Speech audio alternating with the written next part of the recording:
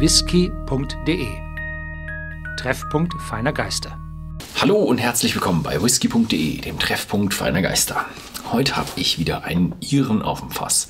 Und zwar ist das der Hyde 10 um, Number 2. Und ist ein, ja, ein Whisky mit Altersangabe. Der zweite der Serie. Horst hat den ersten der Serie hier ähm, schon ja, probiert und vorgestellt. Und das kommt wieder vom Abfüller, das muss ich ablesen, Hibernia Distillers vom West Cork. Jeder, der jetzt nicht weiß, wo West Cork ist, hier ist eine schöne Karte. Da merkt man, ja, links unten oder auch Südwesten. Äh, von Irland ist West Cork. Und da hat sich dann dieser Hibernia Distillers niedergelassen und es ist ein unabhängiger Abfüller. Diesmal haben wir Rumfässer, das steht hier glaube ich auch irgendwo drauf. Rum Cask Finish, Non-Chill Filtered, 46%. Ähm, ist aber nicht nur Rum-Finish, sondern auch ähm, mit Oloroso Sherry ähm, teilweise. Wahrscheinlich sind es ein paar weniger, hat ein bisschen weniger Einfluss. Ähm, was das für einen Einfluss auf den Geschmack hat, da gibt es ja öfters Diskussionen, Sherry immer süß oder auch nicht. Ähm, wie viel Punch ist dabei beim Sherry? Ähm, ich habe mal so eine kleine Tabelle gemacht ähm, auf whisky.de, beziehungsweise ich habe es auf whisky.com gemacht, wurde dann wieder übersetzt. Und da stehen alle Fasstypen drin, die im Whisky gängig sind und ähm, was die für einen Einfluss haben. Das ist jetzt äh, von mir im Grunde amateurhaft geschrieben. Ich habe mir alle Sherry, alle ähm, Port, was habe ich da noch, Rum und sonst was, Bourbon habe ich auch mit reingenommen. Ähm, Typen genommen, habe mir die generellen Charakteristiken mal angeschaut, wie sowas schmeckt. So der Oloroso hat dieses nussige und dunkle Früchte. Ähm, der PX hat halt dieses, dieses süße und ähm, hat die Vanille und Süße und die habe ich dann alle in die Tabelle geschrieben, dass man sich mal nachschauen kann. Ah, okay, was hat eigentlich was für ein, äh, was für ein Einfluss. Im whisky.com habe ich mir sogar noch die Mühe gemacht. Ich habe mir für jede, ähm, ja nicht für alle, aber für 70 Prozent der, der wichtigsten habe ich mir die ganzen Herstellungsarten und was die dann für einen Einfluss auf den Whisky haben, noch einen kleinen, ja, One-Pager dafür gemacht. Kann man alles, kann man alles auf whisky.de, äh, whisky.com nachlesen, auf whisky.de, ähm, nur die Liste. Ja, wer sich ein bisschen mehr über diesen Hibernia Distillers und Douglas Hyde, der der Namensgeber für diesen Whisky war, also was Namensgeber, danach wurde der Whisky benannt. Äh, interessiert, der soll dann mal bei Horst im Video vorbeischauen, was ich vorher verlinkt habe. Oder ähm, ja, in der Beschreibung unter dem Video. Ähm, hierfür muss ich mich mal bedanken bei unserem Importeur. Der hat uns das äh, kostenfrei zum, zum äh, Vertesten, ja, zum Probieren vor der Kamera und Vorstellen vor der Kamera zur Verfügung gestellt. Ähm, ja, vielen Dank dafür.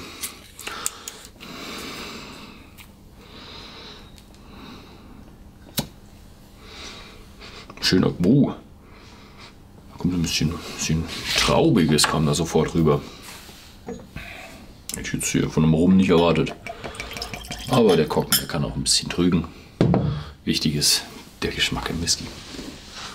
Ähm, der Whisky ist ein äh, Single Malt Whisky, also nur, nur gemalzt, äh, nur gemälzte Gerste und ähm, nur auf Potstills. Also es ist kann mit jedem Scotch, mit jedem Premium Scotch mithalten. Auf dem, nach dem Papier her. oh, aber vom Geruch her auch.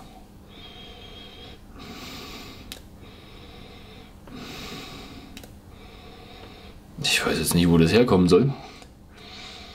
Aber für mich ist das richtig schön Traube. Richtig fruchtig.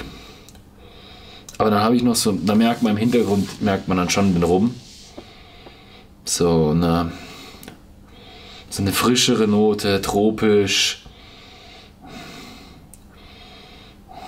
So, weiß nicht, was das ist. Das, boah, bin ich so. Ist nicht so auf tropische Früchte. Mango, Passionsfrucht.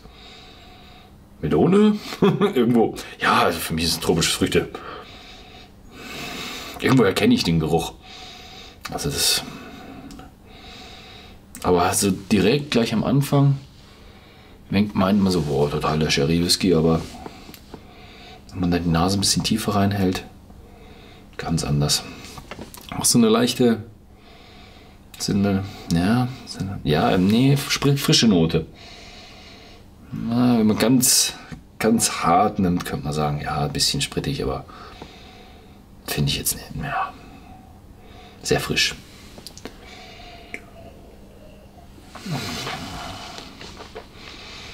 Hm.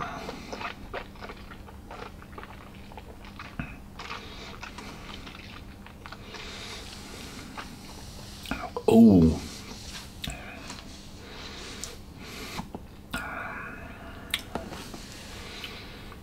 Oh.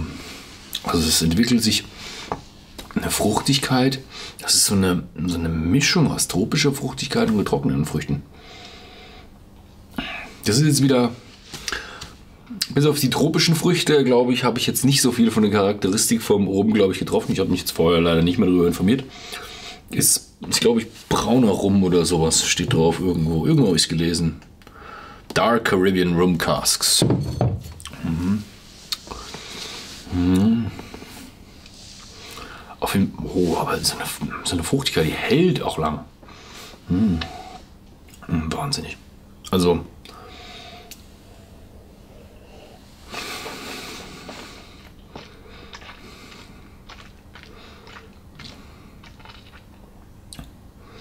Wahnsinn. Also für mich ist da, obwohl man so, so, einen, so einen leichten angebrannten Geschmack noch hat, als wäre irgendwie so Trockenfrüchte karamellisiert vielleicht, ja. So ein, hm. Ist das was Malziges? Hm, nee. Hm, so ein leichter Schlauer, Schleier. Schleier an. Hm.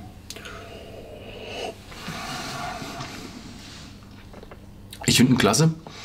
Man merkt aber, dass er, dass er 46% hat. Also er überträgt intensives Aroma, ist extrem intensiv im Geschmack und ähm, finde ich echt klasse für einen, für einen irischen unabhängigen Abfüller. Ich habe bis jetzt noch recht wenige irische unabhängige Abfüller probiert. Finde ich super. Werde ich mir bestimmt nochmal ein Gläschen einfüllen. Ähm, Wenn es euch interessiert, war jetzt, glaube ich, ein Monat oder zwei im Shop nicht verfügbar, aber es kommt Nachschub.